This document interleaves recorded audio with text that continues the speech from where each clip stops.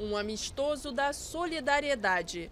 Estas jovens aspirantes do futebol japonês chegaram ao Brasil para uma partida contra a equipe paulista do Juventus. O dinheiro arrecadado no evento vai ajudar os órfãos da região de Tohoku, no nordeste do Japão, área devastada pelo tsunami de 2011.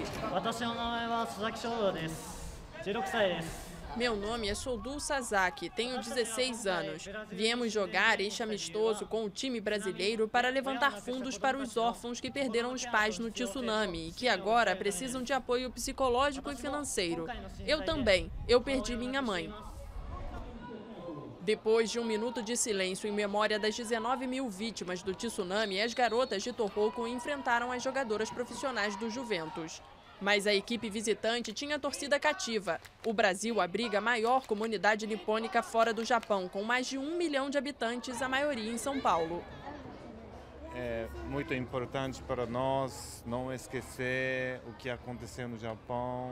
É importante ajudar os pais de crianças que sofreram. Hoje o sentimento é, é de alegria, porque dá pra ver que tem muita gente aqui que batalhou muito na vida e, e cresceu bastante e que hoje consegue sorrir, consegue, consegue ter uma vida bem, bem normal, apesar de toda a tragédia que foi o tsunami. Foi uma partida apertada. Faltando apenas 10 minutos para o final, os visitantes marcaram o gol do empate. Um jogo que representou muito mais do que apenas uma partida de futebol. É impossível que a vida volte a ser como antes do tsunami. Não podemos fazer isto sozinhos. Por isso, precisamos que todo mundo nos ajude a reconstruir o Japão. Seremos muito gratos pela ajuda que recebermos.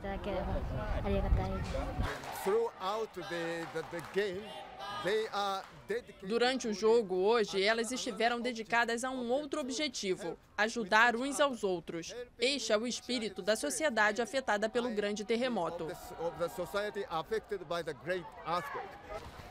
Os organizadores da Fundação Ashinaka esperam levantar 45 milhões de dólares para os órfãos de Tohoku através deste e de outros projetos.